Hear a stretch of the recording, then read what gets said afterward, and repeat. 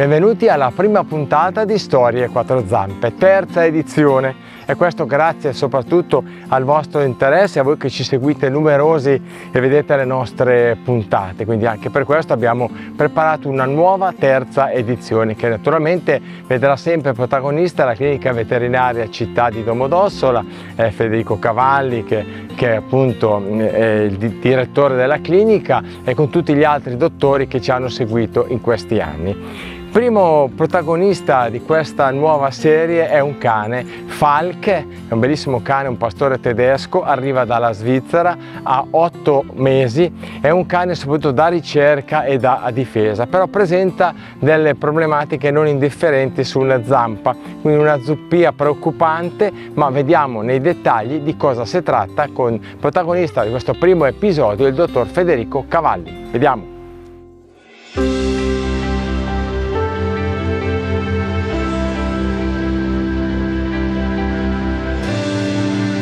Oggi abbiamo il caso, un caso interessantissimo di questo bellissimo cagnone che si chiama Falk.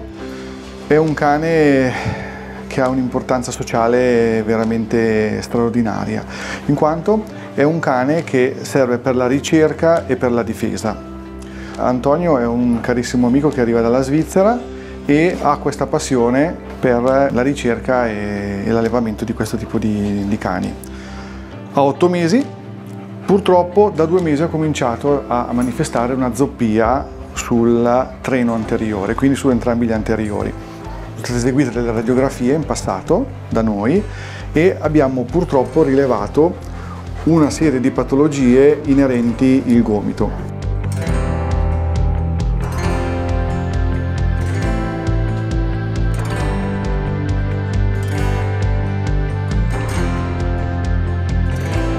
Il trattamento chirurgico prevede la rimozione del processo onconeo e eh, eventualmente stiamo valutando anche l'ostectomia eh, dell'ulna. Purtroppo non potrà avere un'attività fisica in futuro eh, importante. Perché? Perché tutta la chirurgia e le patologie del gomito sono delle patologie fortemente invalidanti e che generalmente danno un prosieguo in artrosi. Abbiamo parecchie armi per combattere l'artrosi, ma possiamo solamente controllarla e possiamo diminuirne gli effetti. Arriviamo addirittura all'utilizzo, in questo caso, degli anticorpi monoclonali per eh, riuscire a, eh, a, fare in modo che il nostro, il nostro amico quattro zampe possa sentire meno dolore. Stiamo incominciando l'operazione di Falk, che è un pastore tedesco di 8 mesi che si è presentato per zoppia anteriore sinistra. Dall'esame radiografico è stato evidenziato una possibile displasia di gomito con presenza di mancata unione del processo anconeo, che è una patologia classica di questa razza. Oggi è stata eseguita preoperatoriamente la TAC per ulteriormente caratterizzare meglio la patologia del gomito. E adesso andremo a eseguire l'ultima parte del trattamento che consiste nel esplorare l'articolazione, quindi eseguire un'artroscopia e successivamente andare a rimuovere il coronoideo che risulta essere coinvolto.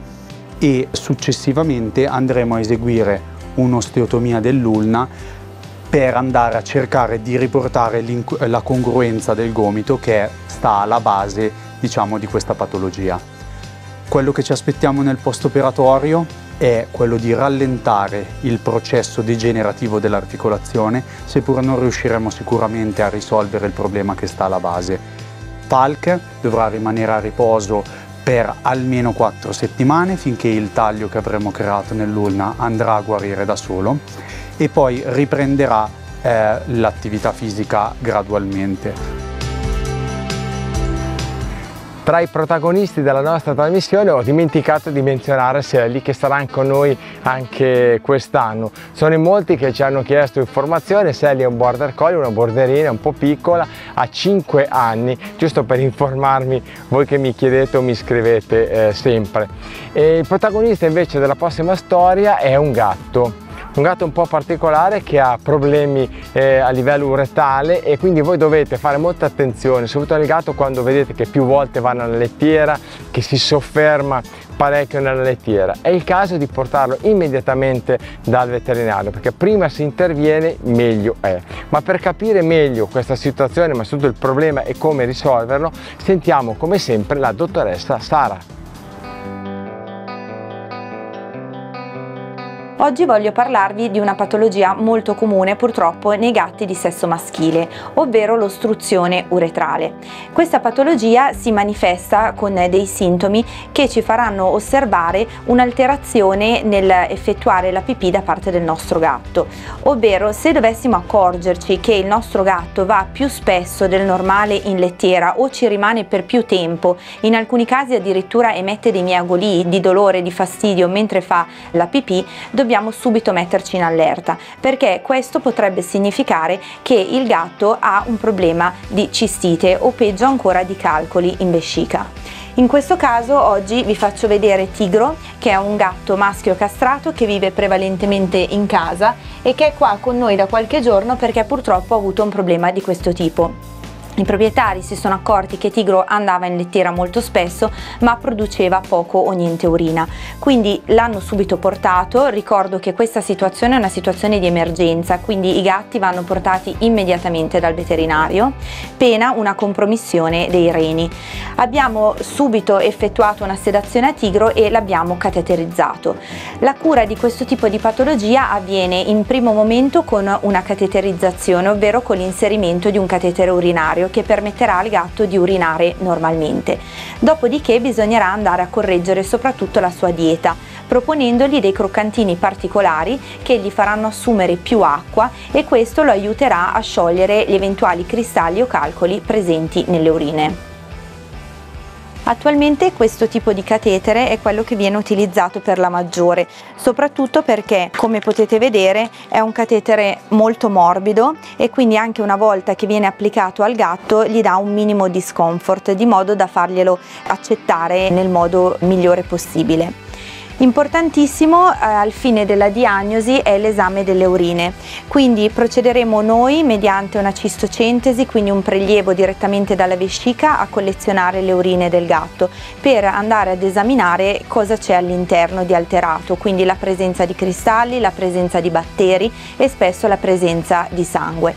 Sulla base dell'esame delle urine andremo poi a prescrivere la terapia migliore per il paziente. Abbiamo inserito in questa nuova serie di Storie a quattro zampe uno spazio molto interessante a mio avviso. Sarete voi da casa a raccontarci le storie dei vostri amici a quattro zampe. Se avete vissuto un momento difficile, un momento gioioso, particolare che ci volete raccontare, basta che ci contattate al 338 69 59 355. Vi rispondo direttamente, ci mettiamo d'accordo, veniamo da voi e registriamo il pezzo. Così ha fatto il protagonista della prima storia che vi mostriamo. Si chiama Stefano, è un carissimo amico e ci racconterà la storia del suo cane Paride che veramente gli ha fatto passare otto giorni eh, in grossa difficoltà. Ma è una bella storia a lieto fine e molto emozionante quindi direi di vederla subito insieme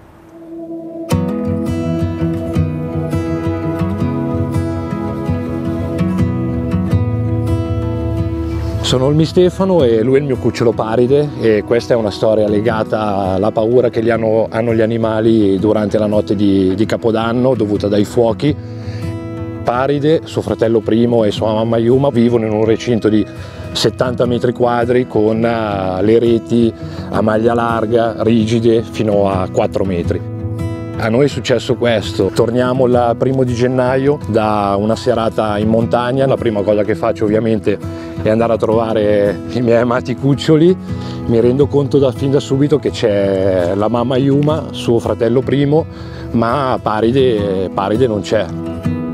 Con le reti a 4 metri pensavo che non, non potesse proprio volare, non c'era modo di scappare e quindi ho controllato tutte le reti fino a quando ho cominciato a pensare di guardare in alto e in alto a 4 metri ho trovato una, una ciocca dei suoi peli e lui non c'era più.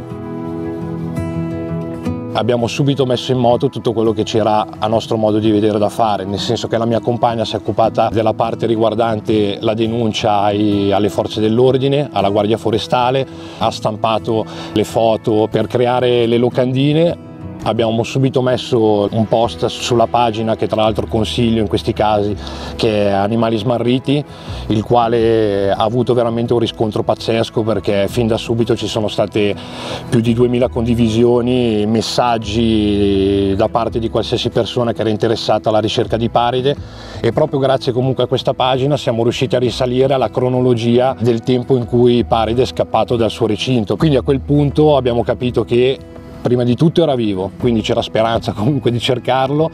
Ovviamente io mi sono messo in moto per, eh, per tutto quello che riguarda la, la ricerca di Paride. La ricerca di Paride è durata otto giorni. Prima di tutto ho contattato un ragazzo di Omenia che con il drone e la termocamera ha fatto tutti i rilevamenti che c'erano da fare sull'ossola, 370 rilevamenti, non uno che era lui. Ho fatto tutte le notti a cercarlo col visore notturno veramente tantissime persone dal mattino alla sera lo cercavano, io stesso l'ho cercato almeno 20 ore su 24 tutti i giorni, dal mattino alla sera quello che consiglio è comunque di lasciare sempre, se si ha la possibilità, un cancello aperto, non l'abbiamo fatto proprio perché comunque potrebbe tornare in qualsiasi momento. Ho controllato tutte le superstrade nel caso fosse stato investito, ho controllato le ferrovie nel caso fosse investito, fino ad arrivare alla sera dell'ottavo giorno, veramente l'ho cercato tutta la notte fino alle sei e mezza del mattino, sono rientrato a casa stremato perché cercarlo tutta la notte col visore attraverso i fiumi, attraverso le radure è stata veramente impegnativa, disperato, ci sono stati momenti veramente di disperazione dove piangevo a dirotto, mi sono buttato sul letto veramente stremato, erano le sei e mezza del mattino, pensavo in quel momento di non, di non, di non riuscire più a trovarlo, fino a quando, e mi emoziona ancora oggi, alle 8 abbiamo sentito le campane della chiesa, lui con le campane ulula solitamente, la mia compagna mi sveglia di sopra assalto e mi dice l'ho sentito e lui ha lulato. E al che io gli dico no guarda è impossibile, l'ho cercato fino a un'ora e mezza fa, risentiamo le campane, sentiamo ululare veramente, a quel punto lo sento anch'io, siamo corsi alla porta e Paride ha aperto la, aprendo la porta e era lì che ci guardava. E questa fortunatamente è una storia a lieto fine, non sempre purtroppo accade. Con tutto il cuore ringraziamo chiunque ci è stato vicino, tutti gli utenti di Facebook e della pagina Animali Smarriti che comunque ci hanno aiutato a cercarlo, tanto è vero che c'erano veramente tantissime persone che lo cercavano. Consiglio a tutti, e l'abbiamo provato noi, di tenere sempre con sé i propri cani, anche se si prendono le, le più grandi precauzioni in, in serate come quella dei botti dove loro veramente vanno completamente completamente in tilt. Noi l'errore che abbiamo fatto è pensare che erano in sicurezza, ma non è bastata una rete di 4 metri, quindi assolutamente consiglio di metterli totalmente in sicurezza, magari all'interno di casa o di portarli sempre con sé.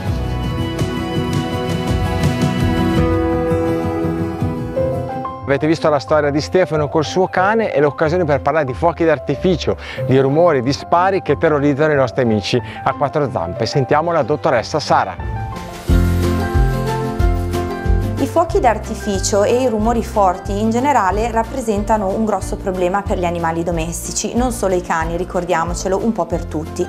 Questo soprattutto nel cane avviene in quanto eh, loro, la loro capacità uditiva è molto più eh, perfezionata rispetto alla nostra, infatti loro possono sentire i rumori fino ai 40 MHz rispetto invece all'uomo che si ferma solo a 20. Per questo quando ci sono dei forti rumori rappresentati soprattutto dai fuochi d'artificio o dagli spari per esempio, molti cani hanno davvero tanta paura e vanno gestiti nel modo corretto affinché non succeda qualcosa di brutto come per esempio delle fughe o addirittura si facciano male.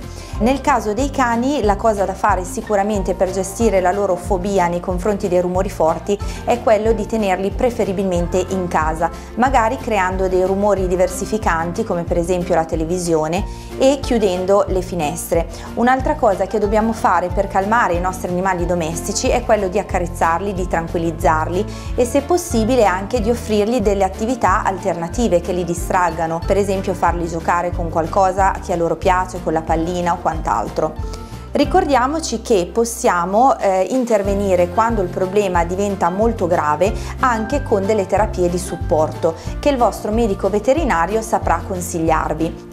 Le terapie di supporto possono essere rappresentate o da dei farmaci naturali che è vero hanno alcune volte degli effetti blandi, però non hanno effetti collaterali. Se ne trovano una vasta gamma in commercio, ci sono compresse, ci sono collarini da applicare al cane, ci sono degli spray da nebulizzare nell'ambiente domestico. Nei casi più gravi bisogna invece ricorrere a una terapia medica. In questo caso il veterinario comportamentalista saprà consigliarci dei farmaci che fanno parte della categoria dei sedativi o dei tranquillanti. Ricordo però da utilizzare solo nei casi di fobia molto grave. I sintomi che i nostri cani presenteranno eh, alla paura dei fuochi d'artificio o degli spari sono rappresentati da respirare in modo veloce, alcuni sporcano in casa, altri tentano in qualsiasi modo la fuga, perché in quel momento il cane perde completamente il controllo e quindi potrebbe anche saltare o rompere la recinzione dalla quale normalmente non esce. Maxwell è il protagonista della prossima storia. È un gattino, un gattino piccolo alle prese con i parassiti e con gli acari. Tema molto importante, bisogna fare molta attenzione con i nostri amici a quattro zampe, sia cani che gatti, soprattutto quando sono in tenera età, perché sono davvero fastidiosi e creano dei problemi. Vediamo quelle che possono essere le soluzioni e i rimedi e soprattutto come comportarsi con la dottoressa Sara.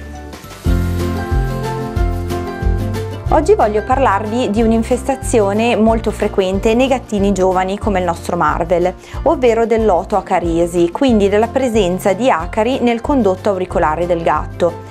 Questo tipo di ectoparassiti sono molto frequenti soprattutto nei gattini che sono nati e hanno vissuto i primi mesi all'esterno. Come possiamo accorgerci di questo? Ci accorgiamo perché vedremo nell'orecchio del gatto abbondante materiale di colore nerastro e soprattutto vedremo che il gatto manifesterà un intenso prurito auricolare, molto spesso arrivando addirittura a crearsi delle scoriazioni in corrispondenza delle orecchie. Ovviamente l'infezione è più frequente nei piccoli ma eh, può esserci anche nel gatto adulto. Alla visita con l'otoscopio andremo a vedere all'interno dell'orecchio e nel caso degli acari addirittura sono visibili anche se molto piccoli a occhio nudo. Per confermarne la presenza preleviamo un pochino di materiale auricolare con un cotton fioc e lo andiamo a vedere al microscopio.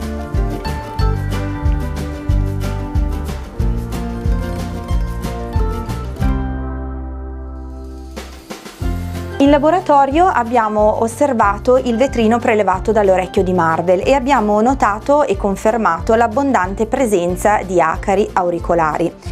Quindi ora per ripulire le orecchie di questo gattino e eh, togliergli il forte prurito andiamo ad effettuare un lavaggio auricolare che servirà ad asportare tutto il materiale scuro compresi gli acari che è presente nel suo orecchio. La terapia si completa poi con eh, l'applicazione di una fialetta, un antiparassitario che non viene applicato nell'orecchio ma sulla cute del gatto che andrà definitivamente ad eliminare gli acari. Quindi il lavaggio auricolare che abbiamo già visto in alcune puntate, forse nel cane, si effettua inserendo nell'orecchio in modo delicato questi liquidi e poi andando a massaggiare per bene il condotto. Vedete che Marvel muove la zampetta perché ha prurito quando io rimassaggio l'orecchio in questo modo vado a sciogliere e ad eliminare meccanicamente tutta questa sporcizia che è costituita dai, dalle feci degli acari e dagli acari stessi. Sarà necessario ovviamente effettuare il lavaggio per almeno una settimana tutti i giorni al fine di ripulire completamente l'orecchio. E siamo giunti anche all'appuntamento con il medico risponde. Anche in questa edizione abbiamo affidato questo compito alla dottoressa Jessica che ci illumina come sempre. Questa volta parlerà di parassiti nel cane. Anche in questo caso, come in precedenza con il gatto, bisogna fare molta molta attenzione perché danno dei problemi, alcuni sono anche purtroppo mortali. Quindi seguiamo la dottoressa Jessica che ci spiega tutti i dettagli su come difendere i nostri animali da parassiti e da altri insetti pericolosi.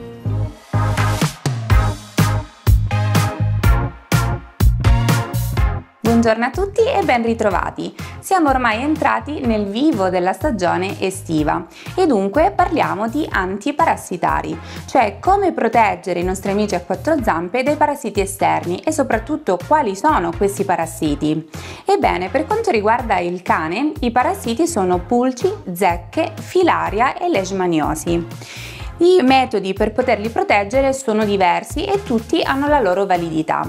Uno dei metodi potrebbe essere quello di somministrare per via orale, quindi per bocca, una compressa che ha una durata di 30 giorni e che li protegge da pulci, zecche e filaria, come ad esempio il Credelio Plus o il NexGuard Spectra. Sono marche differenti ma entrambi fanno la stessa cosa. Ovviamente in questo caso bisognerà aggiungere un prodotto che servirà per la protezione della leishmaniosi. La leishmaniosi è una malattia prodotta da un flebotomo, anche definito papatagio. Fino a qualche anno fa si pensava fosse endemica solo delle regioni del sud Italia, mentre oggi si è visto che è presente anche nelle regioni del nord Italia, ma principalmente nelle zone di mare. Quindi quando portiamo il cane al mare, una settimana prima dovremo inserire una pipetta, quindi una fialetta sul coppino del nostro cane. In questo modo saremo sicuri di averlo protetto contro tutti i parassiti. Un altro metodo invece, come nel caso della nostra Maya, è quello di indossare un collare antiparassitario, che può essere lo Scalibor, come in questo caso, o il Seresto. Il collarino, a differenza della compressa, la va a difendere da pulci, zecche e leishmaniosi, mentre non la difende dalla filaria. Quindi a questo punto andremo ad inserire, ad introdurre un prodotto per la difesa della filaria che può essere o una compressa, quindi sempre per uso orale, oppure il vaccino, come il Guardian o la Filaria.